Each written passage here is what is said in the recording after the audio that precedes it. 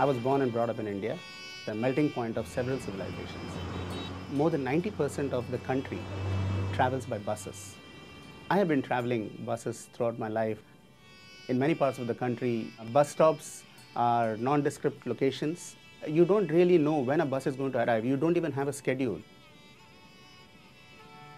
So we wanted to introduce a computerized, GPS-based intelligent transport system for the buses that operate in the city of Mysore, when a particular bus is going to arrive and when it will be reaching the destination.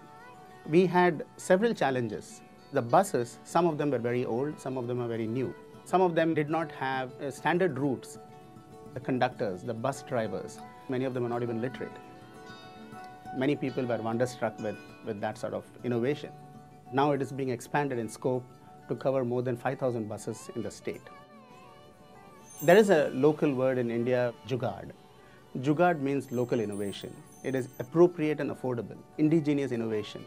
The fact that you can use IT technology for benefiting the people gives you a personal feeling of pride as well as a sense of joy that you're able to give back to the community to which you belong.